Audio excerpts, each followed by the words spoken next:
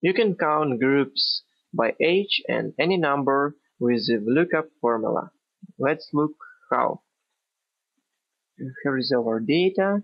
We have names uh, of uh, different people and they have different ages. And right side is uh, age groups. Starting age is 0 for kids, 12 for teenagers, 18 for young people and so on. If you select this and go to data. Named ranges. You have this side sidebar and you may uh, make it a named range. Let's call it groups. Click done. And now you may use this range from the other formula. Formula is very simple. VLOOKUP. Search key is age comma then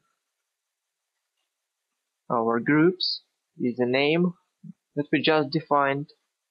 Hit comma then 2 is a number of column. We may return its group of, of people by age.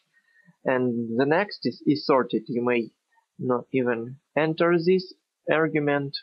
Just skip it. Close parentheses hit enter and see the result.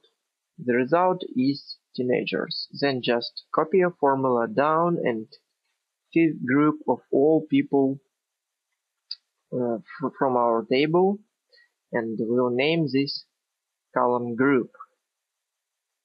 Make some formatting.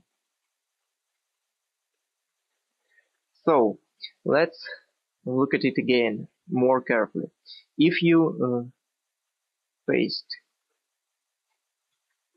B2 as age so groups as our range that we'll look at and 2 as column index. And then is sorted is by default true and we need true. So we may just keep this argument because it is optional and then hit enter and see the result. But I want to make more.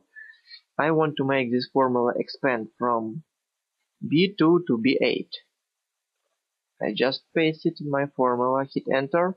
The result hasn't changed yet, but now I paste my cursor into the lookup formula, hit shortcut Ctrl Shift and Enter and you see array formula around our original lookup formula.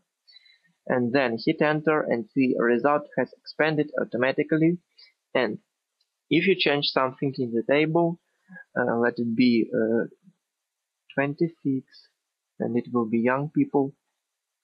So it changes the same time. If you want this table to expand to any number of rows you may uh, make this b2 b8 range to count automatically. Just hit paste offset formula offset. Oh sorry. Offset offset is with double F. Yes, now it's correct. You see this help tip. Cell is B2, three commas, and then count A.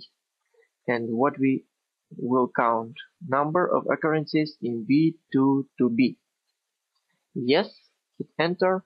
And now when you enter new name like Lou with age of 27, you see that it is young people group and it will our formula will expand automatically to any number of rows that you have entered the age to. But you um, may not make gaps. If, if you have gap then it will won't work. So that's all and I hope you like this video. See you soon